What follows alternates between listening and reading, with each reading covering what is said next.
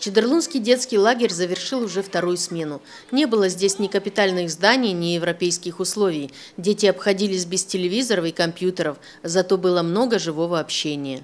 А здесь, наоборот, лучше общаться вживую, намного почему-то более интереснее, повесе- повеселее.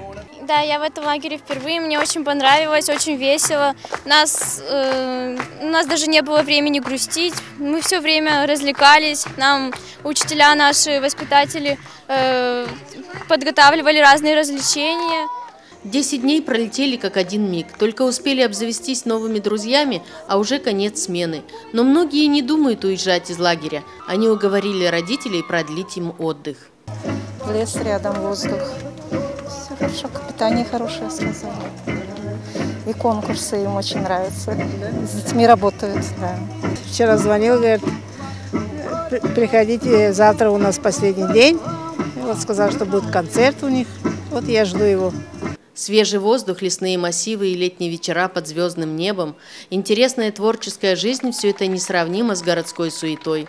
Спортивная и развлекательная программа занятий по интересам здесь планируется в зависимости от возраста и увлечений ребят. У нас есть такая девочка, она э, очень часто к нам приезжает, Литка Литвинова.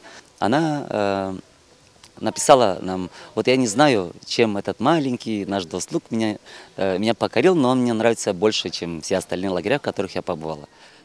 При составлении меню по возможности учитываются пожелания самих детей. Питаются дети четыре раза в день. На ужин гречневая каша с мясом, э, пряники, э, конфеты, кефир.